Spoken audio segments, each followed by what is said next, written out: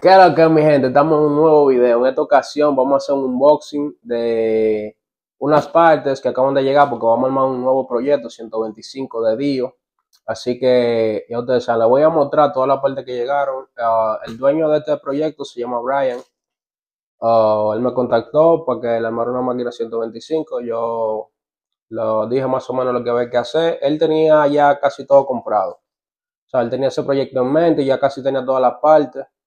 Y por suerte él compró piezas buenas que sí se pueden utilizar. Ojo, cuando ustedes vayan a armar un proyecto, primero hablen con su mecánico que le vaya a armar, porque cada mecánico tiene alguna pieza que sabe que le dan mejores resultados, otro.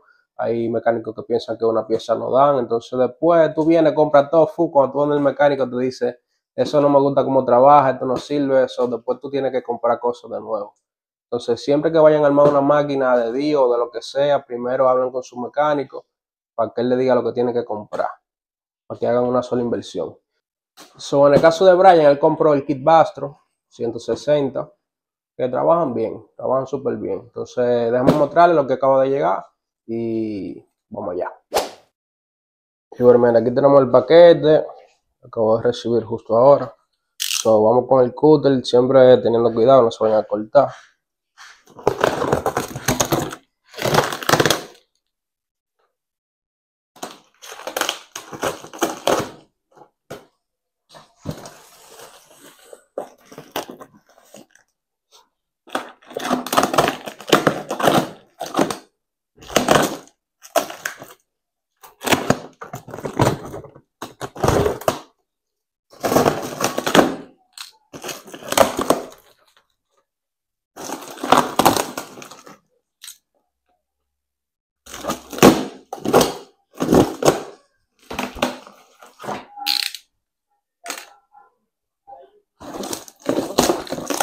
como podrán ver por acá, tenemos la caja de máquina de Dio Mongola. Se pueden dar cuenta por la forma del pateo. Y ya cuando le quite la tapa yo lo voy a mostrar bien. Porque hay personas que no saben cuál es la diferencia de la chasis negro y de la AF25, o sea, de la de Mongola. Porque si vienen diferentes, si vienen diferentes, muy diferentes. So, déjame sacar esto. Uh, un poquito pesadita.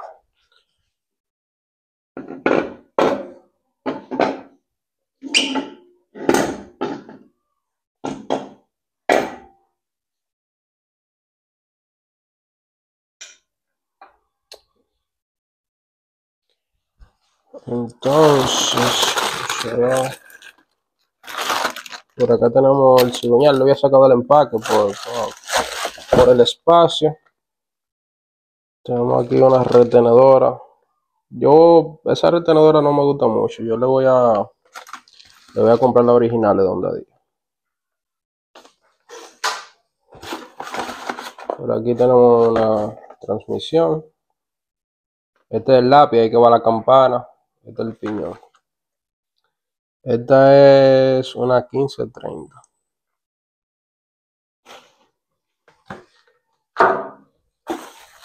Por aquí tenemos lo que es una de las cajas cigüeñal, el marca base.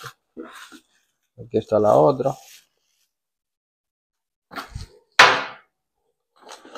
Aquí tenemos la culata. Miren. Que enfoca, culata 54 milímetros, Racing Dio.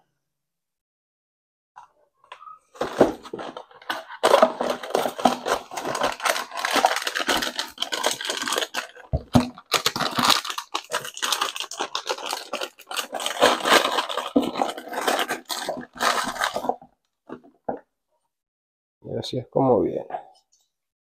Tengo que verificar porque creo que el cilindro viene 55 milímetros. hay que hacer un trabajito a la culata. Bueno, yo siempre lo modifico la culata para, para calibrar lo que es la compresión arriba. yo siempre la adecuo a la medida que yo utilizo.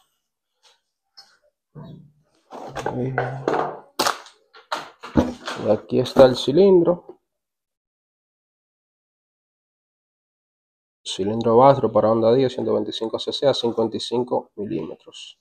Este es el alto. Ese viene como el normal y viene el que le dice alto, que para, el, para este cigüeñal el 160. Le dicen 160. So, para que ustedes vean, siempre trae su sticker, la marca Bastro. El cilindro trae algunas juntas. Esta es la junta que va arriba en la cabeza del cilindro. Esta es la de abajo. Y la junta del escape. Por acá tenemos las anillas. Aquí tenemos las anillas del pistón.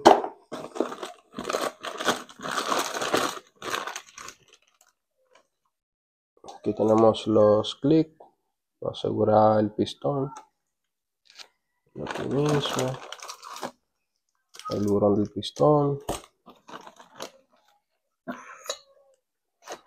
Y aquí está el pistón.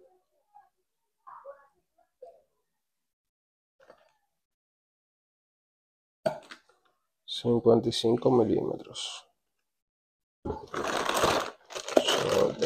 ¿Cómo puedo sacar esto? Mira mi gente. Así es tal cual como viene. El cilindro vasto. Uh.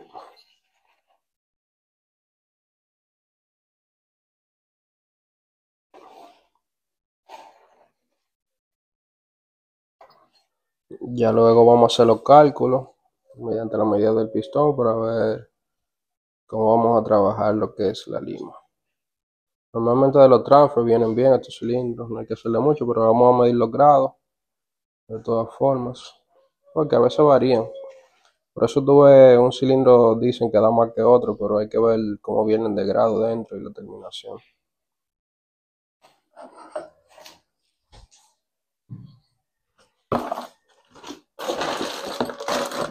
Aquí están los espárragos que lo trae, el cilindro. Y ya lo que faltaría es el cigüeñal. Este cigüeñal incluso tiene una cajeola puesta. Pero se la vamos a quitar y vamos a ponerla de nuevo.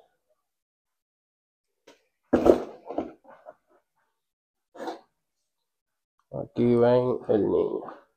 Déjame buscarle un cigüeñal original para que vean la diferencia de este y un original.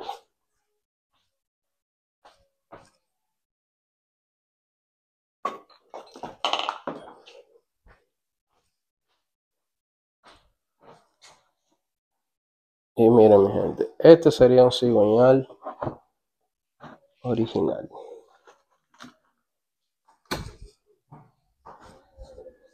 Este es el original. Ese es el Bastro, el Racing 125.